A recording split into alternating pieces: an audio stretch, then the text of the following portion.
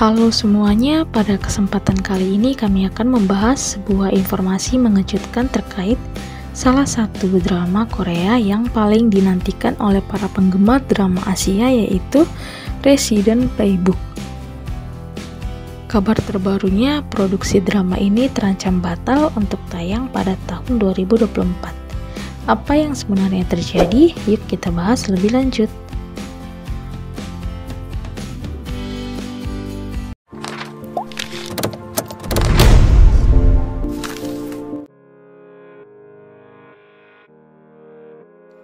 Drakor Resident Playbook yang dibintangi Go Yeon Jung, Kang Yusyuk, Shin Shiha, dan banyak lagi kabarnya akan ditunda penayangannya hingga tahun depan. Hal ini disampaikan oleh media Korea Selatan Spot TV News. Pemberitaan tersebut merinci bahwa tidak ada Resident Playbook dalam daftar antrian tayang drama akhir pekan TVN hingga akhir tahun ini. Drama akhir pekan saluran tersebut diisi oleh The Midnight Romance in Hakwon dan The Auditors dijadwalkan tayang sebagai drama berikutnya.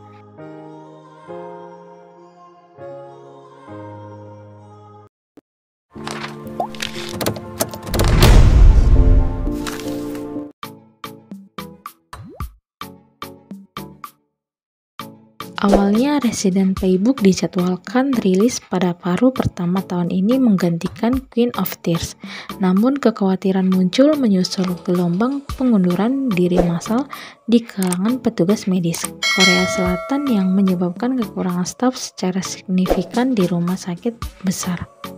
Rumah produksi juga mengakui bahwa penundaan tayang berkaitan dengan persoalan yang dihadapi petugas medis di Korea Selatan.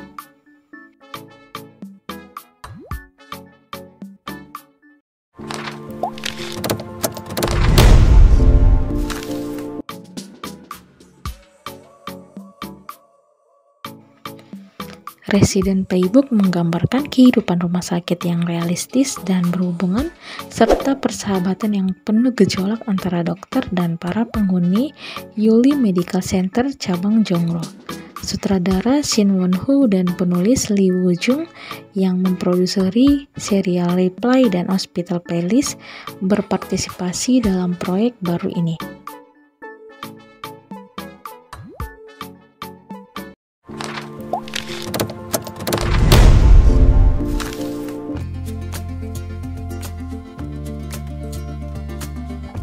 Mengusung konsep yang sama dengan Hospital Playlist, drama terbaru Go Yoon Jung ini akan menampilkan karakter yang menyanyikan lagu-lagu hits dalam format band.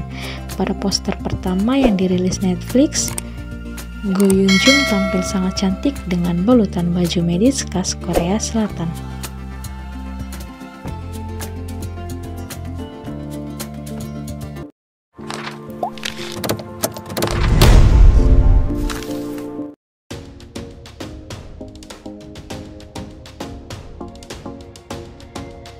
Meskipun syuting drama Korea Resident Playbook sudah rampung dan siap tayang, penggemar khawatir apakah drama bertema medis ini diperbolehkan tayang di tengah aksi unjuk rasa yang terjadi di sana. Seperti dilansir dari Korea Bu, stasiun televisi TVN sempat mengganti jadwal penayangan drama Korea Resident Playbook untuk tayang di akhir tahun 2024 namun aksi unjuk rasa masih bergulir. Saat ini, TVN mulai mempromosikan drama Korea lain sebagai pengganti Resident Playbook. Nah, itulah informasi terbaru mengenai nasib drakor Resident Playbook yang terancam batal tayang pada tahun 2024. Kita berharap semoga pihak produksi dapat segera mengatasi kendala yang ada sehingga drama ini bisa segera hadir menemani penggemar drama Korea. Terima kasih telah menonton. Jangan lupa untuk like, subscribe, dan nyalakan lonceng notifikasi agar Anda tidak ketinggalan update terbaru dari channel kami. Sampai jumpa di video berikutnya.